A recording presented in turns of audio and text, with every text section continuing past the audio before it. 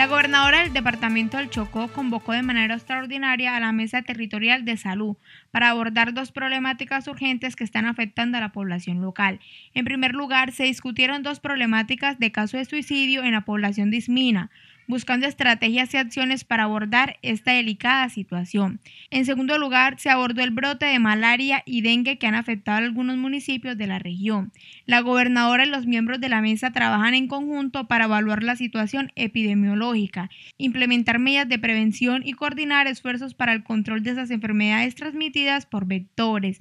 La convocatoria extraordinaria refleja el compromiso de la gobernadora de salud con el bienestar de la población mostrando una respuesta activa y coordinada frente a los dos desafíos que enfrenta la comunidad del Chocó.